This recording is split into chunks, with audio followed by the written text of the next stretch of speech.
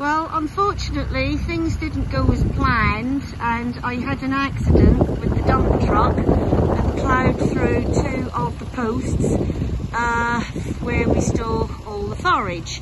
So the nightmare continues. Uh, we're propping up one of the posts with the dumper. Uh, the other one he's using the um, forklift for. And now we're working out a way tonight to get a post in uh, to relieve the dumper so the dumper can be used tomorrow for the feeds. Um, I don't really know what to say about this. Uh, do I say just another day in paradise? Don't really know. Um, obviously, he's limited to what he can physically do. So I'm, um, I'm the assistant.